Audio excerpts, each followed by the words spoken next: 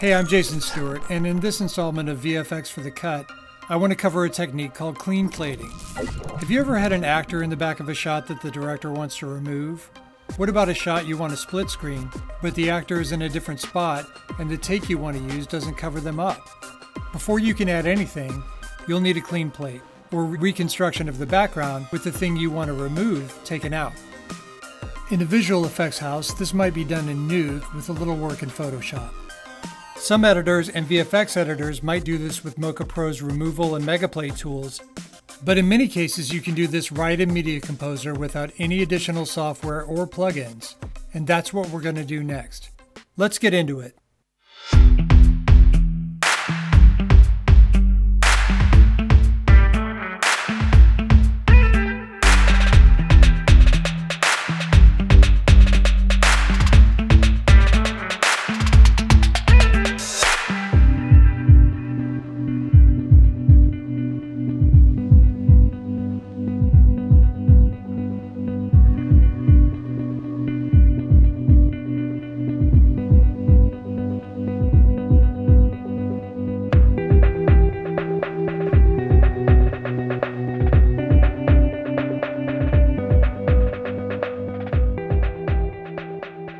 Have our dancer here in front of a brick wall.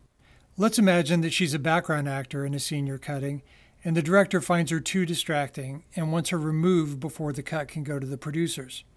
To do this, you'll need to create a clean plate of the section of the shot that she's in. First, we need to find a still frame or frames that are most ideal for the clean plating process. What makes a good frame? Ones where our dancer is blocking less of the wall are best. So when she moves back and is smaller in frame, or when she moves to the side to reveal more wall. There is no perfect frame here, so let's choose a couple. I like this frame since I can see the left side of this section, as well as this one since we have a piece of the right side. I'll add markers to both. Option and Move Up will copy our plate. I'll copy it twice. The way I like to create freeze frames is not to match frame and render a freeze, but to use the time warp tool so adjustments can be made later if needed. I'll drop a time warp effect on the top clip and park on this marker.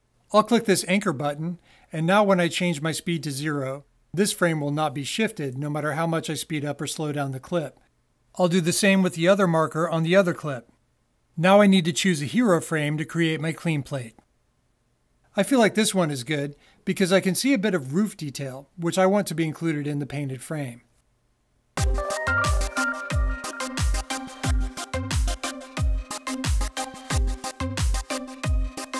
Our next job is to line up our top freeze frame with our hero frame.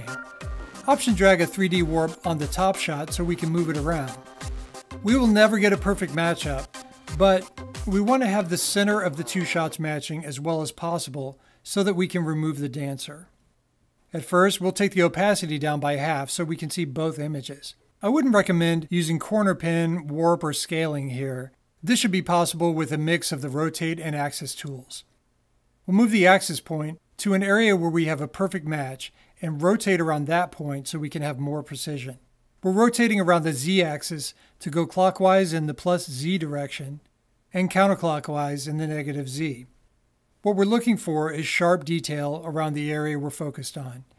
If the outer edges go a little blurry, that could be due to a few factors, but should not affect the outcome too much.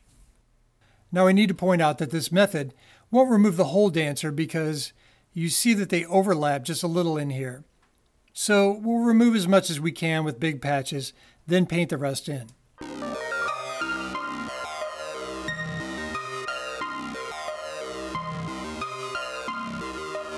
In other tutorials, you've probably seen the Animatte tool, so I won't go into a huge amount of detail about the tool, but we'll use it to create masking to remove most of our dancer now. I'm on the uppermost layer, so I'll draw a mask around the dancer that is visible. I want to remove this area from my top plate. So we'll set the mask to key out. A little feathering will help it. If I solo this track by command clicking in the track light, you'll see that we have a frame with a big hole in it. Now by dropping this frame with the hole on top of my other frame, we're pretty much going to obscure the dancer from this shot.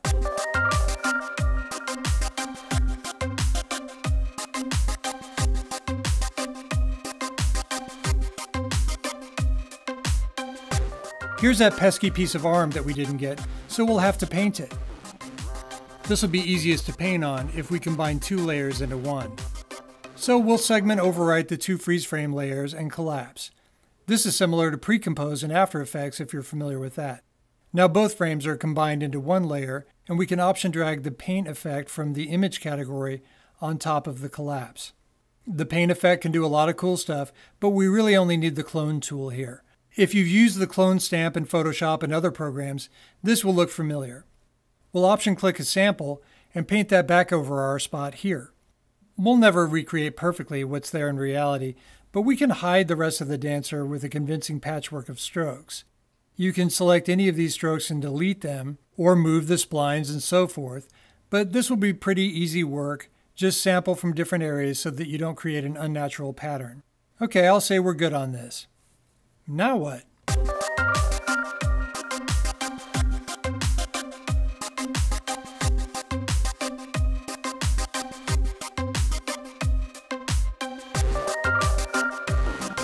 We made a still frame with no dancer. Do we need to do this for every frame? Luckily we have a static background with a shot without any parallax, so we just need to mask this plate over the top and track it back on the original shot. Let's option drag another 3D warp on top of our painted frame to handle the tracking. It's possible the one point tracker could do the job, but I think the camera has a bit of rotation to it. So in that case, we'll use at least two points. I'm actually going to use the corner tracking feature to get the most available trackers I can, which is four. If you watch my screen replacement and media composer tutorial, you'll know I like to track one point at a time. In the screen replacement example, we tracked a rectangle. In this case, I just want as many tracks as I can get for accuracy. All right, now let's close the tracking window and see how it came out. Option drag another animatte effect over the painted track and let's line up in the position indicator over where the hero frame was chosen. Now I'll create a mask around that area that our dancer moves around in. Final touches would be feathering the edges of the animatte and adjusting the shape of the matte to hide it as well as possible. That's essentially what we need to do with this.